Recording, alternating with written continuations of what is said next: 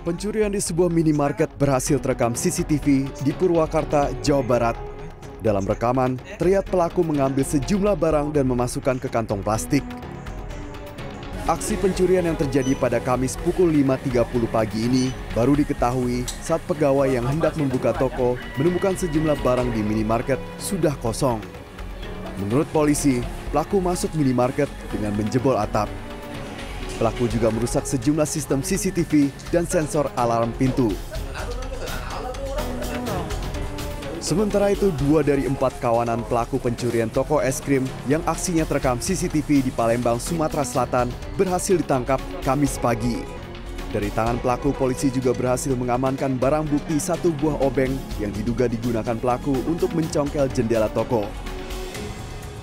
Sedangkan barang bukti berupa kipas angin dan mesin kasir sudah dijual oleh para pelaku. Petugas pun terpaksa menembak kaki salah satu dari tersangka lantaran mencoba kabur saat ditangkap.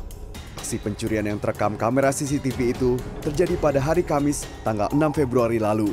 Para pelaku beraksi dengan merusak jendela toko es krim di saat toko ditinggal pemiliknya. Uh, dia menyasar rumah kosong ruko dengan melakukan perusakan pintu dengan menggunakan alat seperti obeng. Untuk komplotan ini masih dua orang lagi masih dalam pencarian kami. Kedua pelaku dijerat pasal 363 KUHP tentang pencurian, sedangkan dua lagi yang belum tertangkap masih dalam pencarian petugas. Tim Liputan CNN Indonesia